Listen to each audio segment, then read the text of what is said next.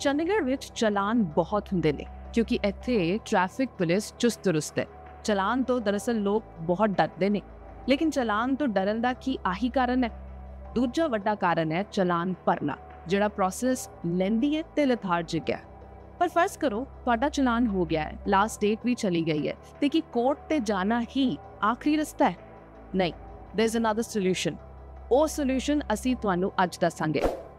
ABP ਸਾਂਝਾ ਦੇਖਣ ਵਾਲਿਆਂ ਨੂੰ ਸ਼ਵੇਤਾ ਸ਼ਰਮਾ ਦੀ ਸਤਿ ਸ਼੍ਰੀ ਅਕਾਲ। ਇਹ ਹੈ ਗੱਲ ਤੁਹਾਡੇ ਕੰਮ ਦੀ।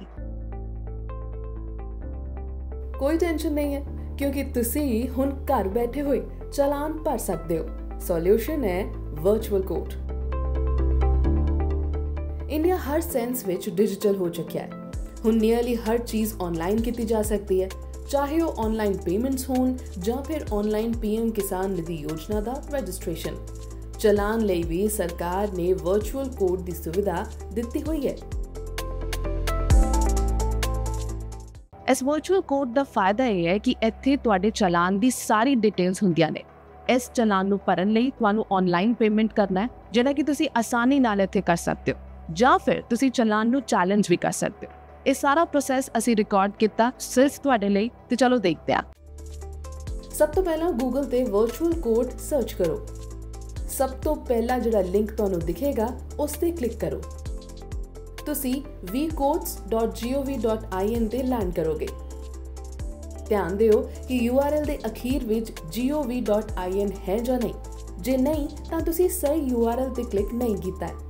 ਸਰਕਾਰ ਦੀ ਹਰ ਅਫੀਸ਼ੀਅਲ ਵੈਬਸਾਈਟ ਦੇ ਅਖੀਰ ਵਿੱਚ gov.in ਹੁੰਦਾ ਹੈ।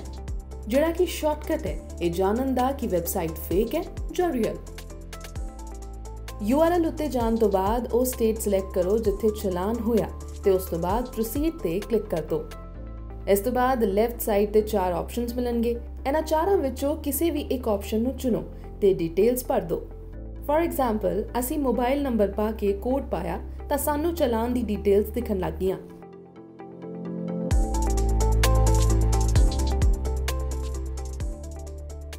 ਤੁਹਾਨੂੰ ਇਹ ਦੱਸਦੀ ਹੈ ਕਿ ਜਦੋਂ ਚਲਾਨ ਕੋਰਟ ਜਾਣ ਦਾ ਮੈਸੇਜ ਆਂਦਾ ਹੈ, ਉਸ ਤੋਂ ਬਾਅਦ ਹੀ ਡਿਟੇਲਸ ਵਰਚੁਅਲ ਕੋਰਟ ਤੇ ਅਪਡੇਟ ਹੁੰਦੀਆਂ ਨੇ। ਤੇ ਜਦੋਂ ਇਹ ਤੁਹਾਨੂੰ ਮੈਸੇਜ ਆਏ, ਉਸ ਦੇ 7 ਤੋਂ 10 ਦਿਨਾਂ ਬਾਅਦ ਵੈਬਸਾਈਟ ਚੈੱਕ ਕਰੋ ਤੇ ਆਨਲਾਈਨ ਪੇਮੈਂਟ ਕਰ ਦਿਓ। ਡਿਟੇਲਸ ਦਿਖਣ ਤੋਂ ਬਾਅਦ ਪੇਮੈਂਟ ਆਪਸ਼ਨ ਖੁੱਲ ਜਾਂਦਾ ਹੈ। ਤੁਸੀਂ ਇਸ ਚਲਾਨ ਨੂੰ ਜੇ ਚੈਲੰਜ ਕਰਨਾ ਚਾਹੁੰਦੇ ਹੋ, ਤਾਂ ਸੈਕੰਡ ਆਪਸ਼ਨ ਨੂੰ ਸਿਲੈਕਟ ਕਰੋ।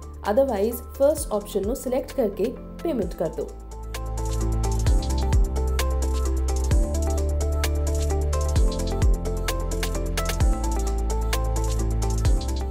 ਡਿਜੀਟਲ ਇੰਡੀਆ ਵਿੱਚ ਇਹੋ ਜਿਹੀਆਂ ਕਈ ਸੇਵਾਵਾਂ ਨੇ, ਜਿਨ੍ਹਾਂ ਬਾਰੇ ਅਸੀਂ ਤੁਹਾਨੂੰ ਦੱਸਦੇ ਰਵਾਂਗੇ। ਬਸ ABP ਸਾਂਝਾ ਨੂੰ ਸਬਸਕ੍ਰਾਈਬ ਕਰ ਲਓ ਤੇ ਇਸ ਵੀਡੀਓ ਨੂੰ ਲਾਈਕ ਤੇ ਸ਼ੇਅਰ ਕਰੋ।